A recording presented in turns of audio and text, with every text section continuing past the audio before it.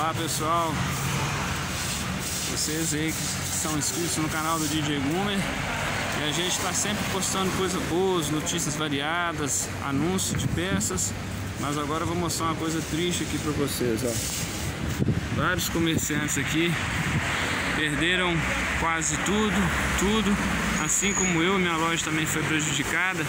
Aqui é a Vilarinho Lanches, ó. Tudo que estava dentro da loja foi revirado com a força das águas. As portas amassaram.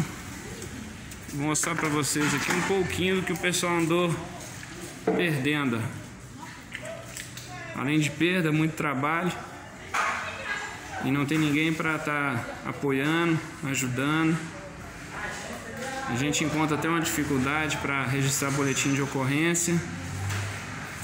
Nenhum auxílio da Defesa Civil da Prefeitura de Belo Horizonte veio até aqui para estar tá resolvendo. A loja aqui, para que vocês possam ter uma noção, ela tem proteção nas portas e com borracha, o que faz a vedação. Mesmo assim a água entrou, empenou os ferros, só estragando tudo. Tá? Isso aí é o que vocês podem ver. Enquanto isso o pessoal vai jogando lixo lá fora, que é o que o que resta, né? Ali é outro comércio, eu vou estar mostrando daqui a pouco. Então é isso aí, ó. Vilarinho 1151. Próximo aqui, Bradesco, Lojas Americanas, frente ao móvel e perto aqui do Hermes Pardini.